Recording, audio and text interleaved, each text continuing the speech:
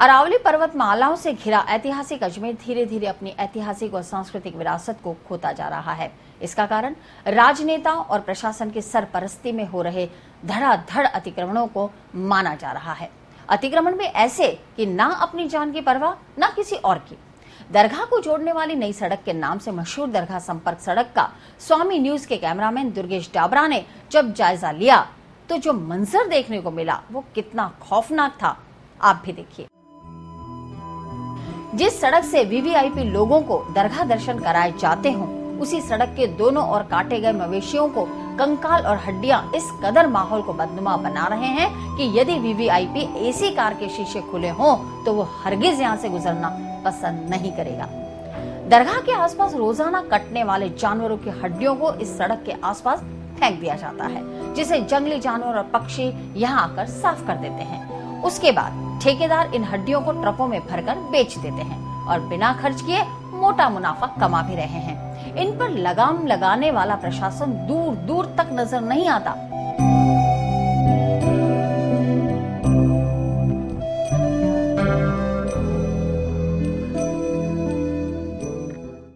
इस सड़क में कभी अमिताभ बच्चन, शाहरुख खान जब भी आए, उन्होंने इसी सड़क के ऊपर से आए गए हैं। यहाँ तक कि हमारे पाकिस्तान के प्रधानमंत्री आसिफ अली जरदारी भी जब अभी आए थे, और लौटते हुए उन्होंने इसी सड़क को इससे गए, वो अपने गए थे यहाँ से। यहाँ की स्थिति देख के बड़े अश्रुपूर्ण स्थिति यहाँ पर है। यहाँ पर जगह जगह हड्डियों के ढेर लगे हुए हैं जगह जगह हड्डियाँ फैली हुई है जगह जगह कचरों के बहुत बड़े बड़े अंबार लगे हुए हैं। जगह जगह कचरे पड़े हुए हैं और पुरातत्व महत्व की जो एक परकोटा जिसे बोलते थे, जो हमारी एक वॉल जिसे सिटी वॉल कहते थे, परकोटे थे, उनको जगह जगह से वे क्षतिग्रस्त हो चुके हैं।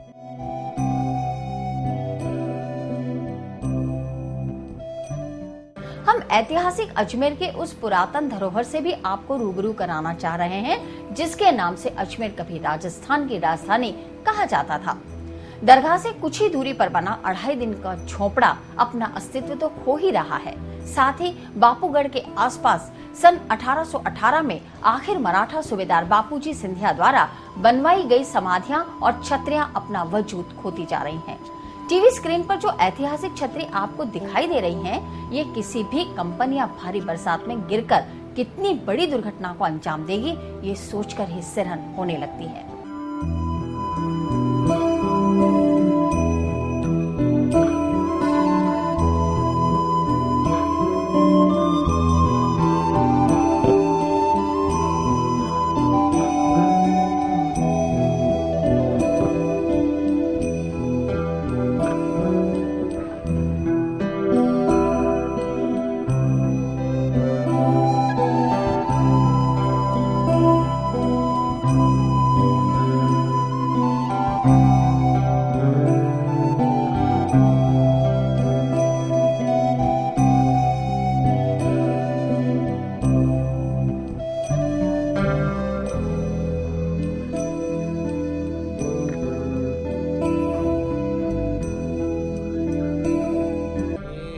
काफ़ी साल से जो बना हुआ ये पहाड़, पूरा ये कोट कई साल बीत चुके हैं, लेकिन इसकी कोई भी जन सुनाई नहीं करता।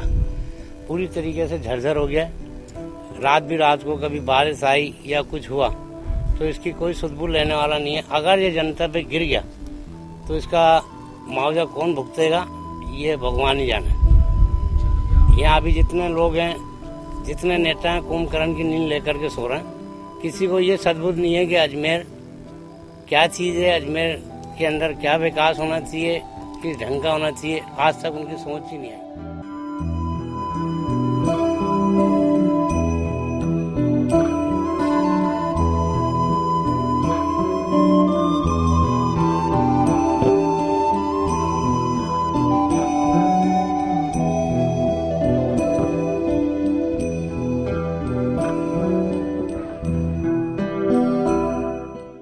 उसकी आप स्थिति देखिए, वो केवल एक पत्थर से टिकी हुई है।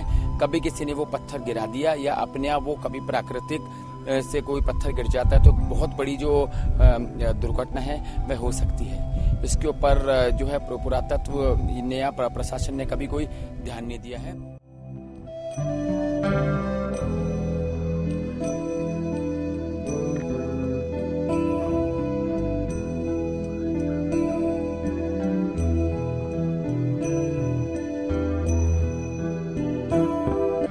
इसी के पास नई सड़क पुलिस चौकी भी है, जिसे कुछ ही सालों पहले सिर्फ़ इसलिए शुरू किया गया कि यहाँ नशेड़ियों और नशे के तस्करों सहित हो रहे अवैध निर्माणों पर विराम लगाया जा सके।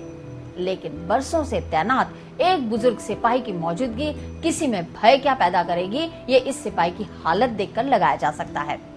चौकी पर तैनात कानाराम चौधरी बताते हैं कि पिछले एक महीने से उन्हें रिलीव नहीं किया गया। आसपास के अवैध घरों में बिजली पानी के कनेक्शन है।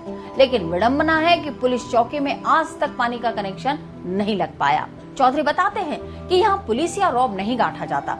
विनती की जाती है कि अवैध निर्माण ना करें, गलत काम ना करें।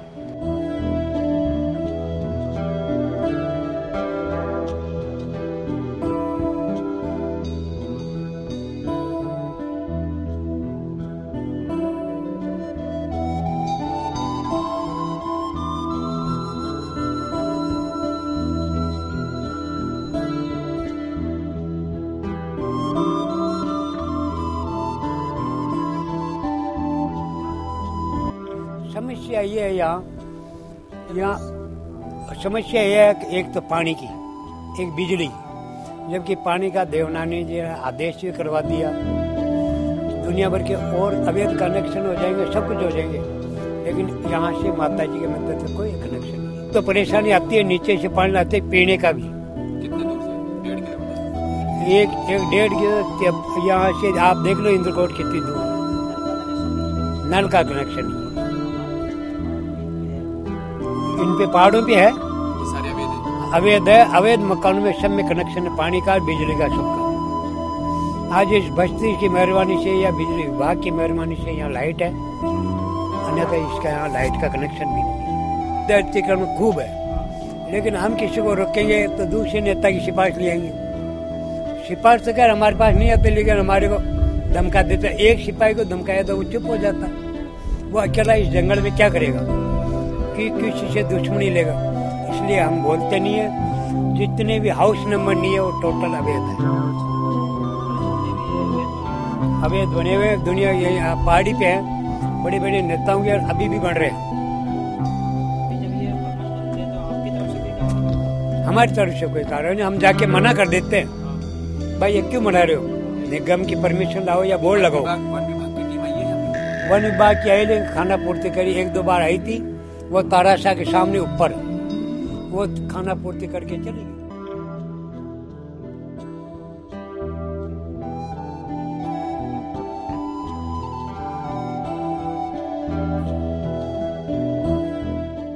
वन विभाग भी सवालों के घेरे में है, क्योंकि तमाम वन विभाग की ज़मीन पर बेरोक टोक अवैध निर्माण चल रहे हैं। जिन्हें रोकने वाला कोई नहीं। जब निर्माण पूरे हो जाते हैं तो पाँच साल में एक बार वन विभाग अपनी तिरछी नज़रें अतिक्रमियों पर घुमाता है और फिर मामला अदालत में कई सालों तक चलता रहता है। समय रहते यदि वन विभाग कार्रवाई करता तो पहाड़ों पर जो मकानों का जंगल दिखाई दे रहा है, शायद उसकी जगह हरे पेड़ों का जंगल खड़ा होता। सवाल ये उठता है कि ऐतिहासिक शहर के इस पुरातन इतिहास को क्या यूँ ही जर्जर होने दिया जाएगा? या फिर सरकार इन किलों और कंगूरों की रक्षा के लिए कोई बजट आवंटित कर इन धरोहरों को बचाने की दिशा में कुछ काम कर पाएगी। यह सभी सवाल उन अधिकारियों के अंदर दफन है जो मीडिया के सामने मुँह खोलने से कतराते हैं।